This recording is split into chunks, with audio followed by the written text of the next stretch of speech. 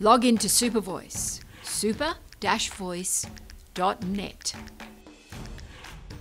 Click on SuperVoice for Education. Log in or sign up.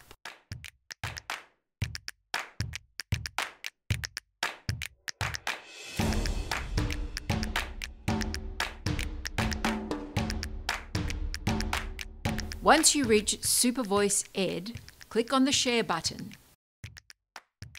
Scroll down to find the Add to Home Screen option. And when you see the icon, click on Add. This way, you will always have your SuperVoice ready to go on your iPhone. Click it and see what happens. Magic!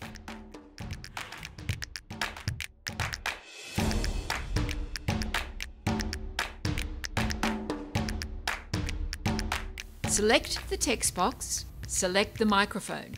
Prompt SuperVoice with whatever you want. Here is the protocol for remembering information. Remember this info, date 20th June 2024. Subject, Maths. Student name, Liam. Liam excelled in multiplication, quickly recalling facts. Follow up with practice in division for reinforcement.